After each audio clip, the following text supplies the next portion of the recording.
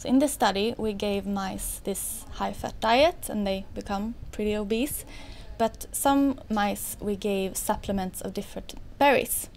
And we used several Nordic berries like uh, lingonberries, bilberries, blackcurrants, raspberries, prunes and blackberries.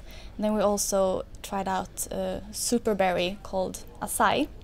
Uh, we could see that uh, the mice that ate lingonberries and also blackcurrants and bilberries, they did not gain as much weight. Uh, they had uh, lower blood glucose levels. They didn't get fatty liver. The results were quite surprising for us, that lingonberries especially could almost completely prevent the weight gain of the high-fat diet. This, it seems like it's, it's good to eat lingonberries, uh, but we want now first to look at the mechanisms behind these effects. I actually eat uh, frozen lingonberries for breakfast every day uh, with a little of yogurt and uh, so it's very tasty.